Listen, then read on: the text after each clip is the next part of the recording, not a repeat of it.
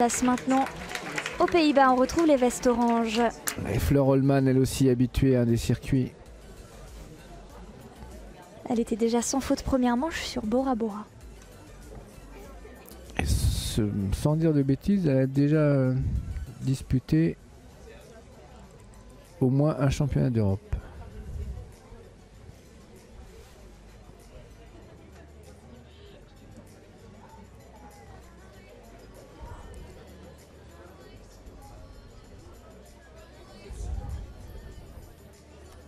Si ce n'est deux d'ailleurs. Moi, je vais faire une remarque de fille, mais euh, j'aime beaucoup le détail de l'étrier euh, raccord avec la veste. je, me- je me faisais la même remarque euh, dans, dans ce tournant. ouais. On voit quand même très très bien Ouais. l'étrier très au loin. La, cour- la couleur orange est à l'honneur, très Mm. patriote.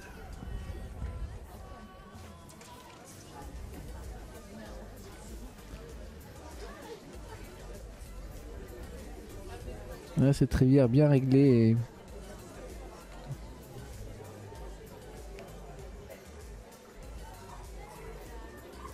n'a pas posé de difficulté.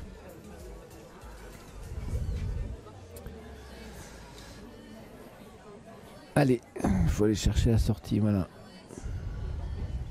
Ça se passe une nouvelle fois bien pour le couple. hein. Déjà sans faute en première manche, ça déroule. Ouais, puis le chrono est bien. Attention, c'est les principaux concurrents des Français. Et là, ça enchaîne un deuxième sans faute en seconde manche. Et donc, Ouais. les vestes oranges sont vraiment dans le coup là. hein. Ça va être chaud, ça va être chaud, chaud, chaud. On aurait, ouais, on aurait pu espérer que ce chrono soit un petit peu plus, euh, un peu plus serré pour. euh, On aurait bien voulu un petit point de temps, c'est ça. Non, mais en tout non, cas, mais super pour mettre perf. un hein. petit peu plus d'enjeu, mais bon, enfin cela dit, voilà, c'est c'est facile à dire, mais il y a déjà suffisamment à faire sur le parcours.